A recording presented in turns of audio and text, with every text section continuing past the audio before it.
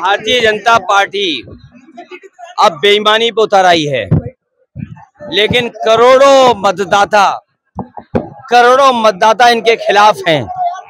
ये कितनी बेईमानी पे उतर जाएँ? लेकिन करोड़ों मतदाता इनको हटा करके ही दम लेगा। और जो सूचनाएँ आ रही हैं, ये घबरा गए बौखला गए हैं। और जो आदमी खिसियाता है, जो हारने लगता है, वही हरकत कहता है, कहा 400 पार बताओ, क्या हालत हो गई इनकी? इनकी भाषा बदल गई, व्यवहार बदल गया। और इतना स्तर गिर गया इनका कि अगर मंदिर में हम लोग जाएँगे तो परिसर को धो देंगे। याद रखे बीजेपी, आज तुमने परिसर धोया है।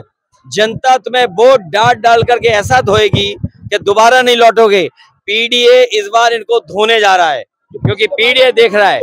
पीडीए उत्तर प्रदेश में एक सीट पे लड़ाई में बाकी सब सीटें पीडीए जीत रहा है। देखिए आज अभी अगर आपने सुना हो जब दुनिया के सबसे बड़े बिलगेट्स आए थे कंप्यूटर के जानकार और प्रधानमंत्री से जब बातचीत कर रहे थे तो उन्होंने डिजिटल डिवाइड के बारे में कहा कि डिजिटल डिवाइड भारत में नहीं होने देंगे उसके लिए कदम उठाएँगे। मुझे याद है कि समाजवादी पार्टी ने जो आज गाँव आपको केबल और इंटरनेट दिखाई दे रहा है। जियो हो या सरकारी और हो, उसका फैसला अगर किसी ने लिया था तो समाजवादी पार्टी ने। उसके साथ साथ लैपटॉप बांटा था और आज भी लैपटॉप चल रहे होंगे। और आज अमेरिका जैसा देश अपने गरीब बच्चों को कुछ शहरों में लैपटॉप दे रहा है।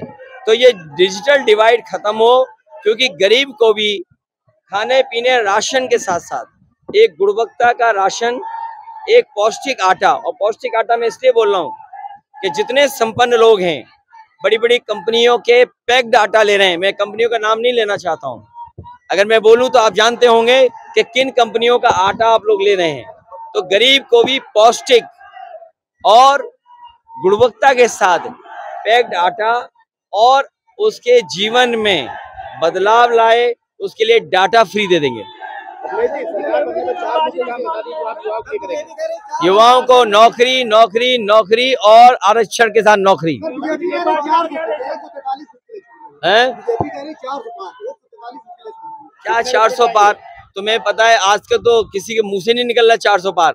और आपने होर्डिंग नहीं देखी बड़ी बड़ी जो कहते हैं डबल इंजन एक इंजन गायब है उसमें से।